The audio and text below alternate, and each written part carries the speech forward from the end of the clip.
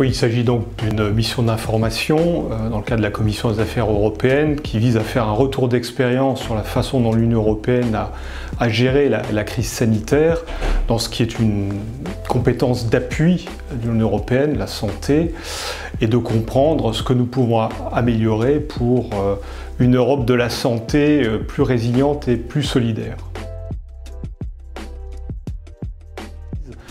En fait, l'Union européenne a finalement très rapidement réagi après les moments un peu difficiles qu'on a pu connaître de, repli national. Je pense notamment aux fermetures des frontières qui ont beaucoup affecté les zones transfrontalières.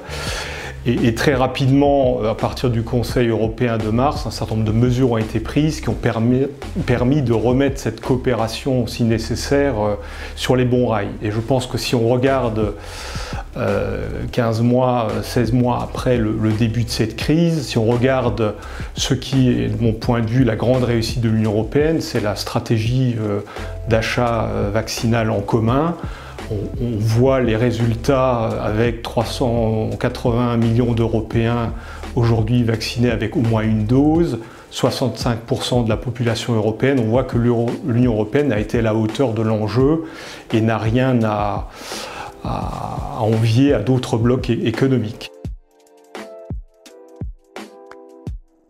Je pense que ce qui est évident, c'est qu'il faut absolument euh, accroître l'autonomie stratégique européenne en matière de santé. Donc ça commence par la recherche. Hein. La recherche doit être absolument euh, vue comme un investissement et donc euh, des propositions sont mises en place par la Commission européenne pour créer une agence qui va financer la recherche. C'est absolument indispensable. On a bien vu le, différentiel qu'il pouvait y avoir, notamment par rapport à l'approche américaine, qui a été finalement, les Américains été beaucoup plus rapides parce qu'ils ont su investir plus massivement que, l'Union européenne, même si je rappelle que les, les vaccins euh, qui ont été euh, mis sur le marché sont issus de la recherche européenne. Hein. Je pense au vaccin Pfizer-BioNTech, hein, qui est ici euh, de, fonds de recherche européens, c'est une start allemande.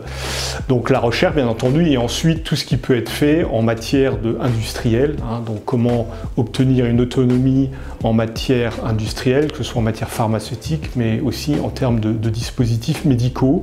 Et euh, comme le disait euh, Jean Monnet, l'Europe se construit au travers des crises et grâce aux solutions apportées à ces crises, je pense que la France, euh, le président Macron, la majorité présidentielle peut porter, dans le cadre de la conférence sur l'avenir de l'Europe et également dans le cadre de la présidence française de l'Union européenne, peut porter ces messages et ces propositions en matière euh, de renforcement, de consolidation d'une Europe de la santé, résilience et solidaire.